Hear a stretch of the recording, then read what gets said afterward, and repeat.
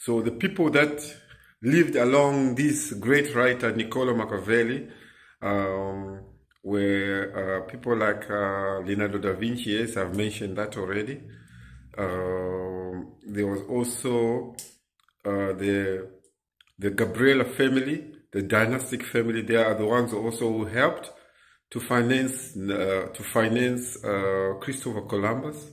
They secretly financed Christopher Columbus, and also uh, one of the uh, contemporaries also is uh, uh, Vespucci, Vespucci Vespucci, the, the one from which America today is named after.